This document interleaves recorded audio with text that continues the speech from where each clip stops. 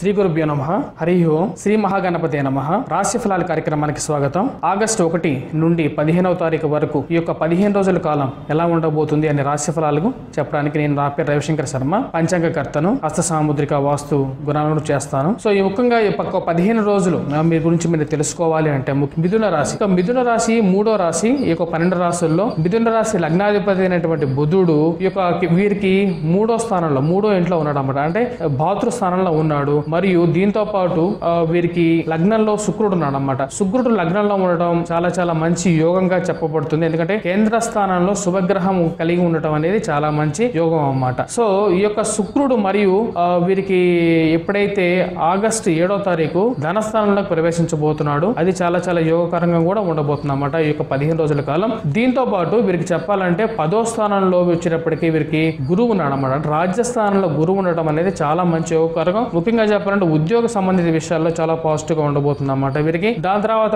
వీరికి పదకొండో ఇంట్లో ఈ యొక్క పదిహేను రోజులు మొదటి వారంలో వచ్చేటప్పటికి వీరికి కుజుడు పదకొండో ఇంట్లో ఉండబోతున్నాడు. ఎప్పుడైతే వీరికి ముఖ్యంగా చెప్పాలంటే పదో తారీఖు ఆగస్టు పదో తారీఖు వీరికి వీరికి వచ్చేటప్పటికి పదో పదకొండో ఇంట్లో నుంచి పన్నెండో ఇంట్లోకి కుజుడు మారబోతున్నాడు అనమాట ఈ మిథున రాశి వారికి. అప్పుడు వీరికి ఎలా ఉండబోతుంది అంటే లాభస్థానంలో లాభాధిపతి అయినటువంటి కుజుడు పన్నెండో ఇంట్లోకి రావటం అంటే వ్యయం అన్నమాట. అంటే ఏంటంటే అధికమైన ఖర్చు అనేది జరగబోతుంది అన్నమాట సో దీంతో కొంచెం జాగ్రత్తగా ఉండటం అనేది ముఖ్యం. దాని తర్వాత వివాహ సంబంధిత విషయాలు కూడా కొంచెం జాగ్రత్తగా ఉండాలి. ఎందుకంటే పన్నెండో ఇంట్లో ఉన్న కుజుడు కొంచెం ప్రాబ్లమాటిక్ ప్రాబ్లమ్స్ క్రియేట్ చేస్తారు అనమాట ముఖ్యంగా చెప్పాలంటే వివాహ సంబంధిత విషయాలు కొంచెం జాగ్రత్తగా ఉండాలి. దీంతో పాటు వీరికి శుక్రుడు ఎప్పుడైతే ధనస్థానంలోకి వెళ్ళటం వల్ల ఉద్యోగపరంగా మరియు లాభాలు లాభాలు స్వీకరించడానికి వ్యాపారస్తులు చాలా మంచి టైం గా చెప్పవచ్చు అన్నమాట బాతృ సంబంధించిన విషయాలు కూడా ఒక రకంగా మెరుగుపడతాయి. మరియు చతుర్థాధిపతి అయినటువంటి బుధుడు ఎప్పుడైతే వీరికి ఆ తృతీయంలో ఉండటం వల్ల చా- ముఖ్యంగా చెప్పాలంటే తల్లికి తల్లి ద్వారా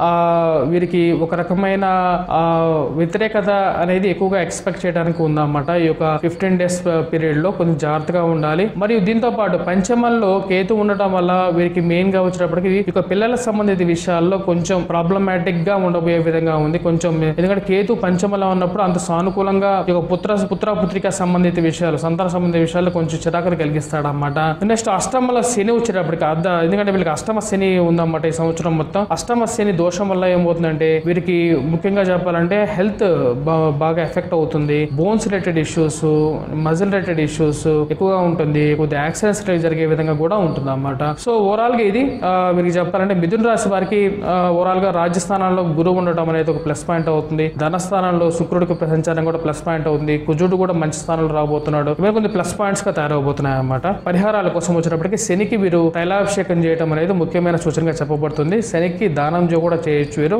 నవగ్రహాల్లో వచ్చేటప్పటికి మనం నువ్వులు దానం ఇవ్వడం అనేది శనికి మంచిది. దాని ద్వారా కొద్దిగా ఆరోగ్య విషయంలో కొద్దిగా బాగుంటుంది అన్నమాట స్వస్తి.